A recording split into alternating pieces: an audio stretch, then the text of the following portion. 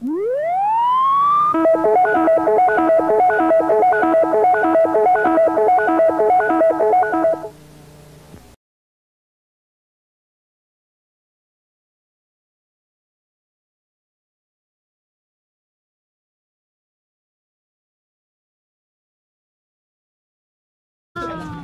her go.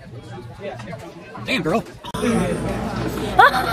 so this is my granddaughter Marissa. We're sitting at Bob Evans. It's August 9th, 2024. Yep. For those of you who are wondering, Marissa's been on Facebook for a long time. Where you been, Marissa? I've been living life, living the dream. Good.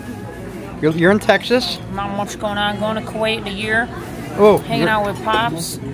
you're still on National Guard. Yep. Where are you working now? Just going to school, pops. Where are you going to school? Texas State. What are you studying? Health administration. Health administration? Yep. I'm gonna be rich. I love it. All right. Marissa Handel, alive and well. There she is.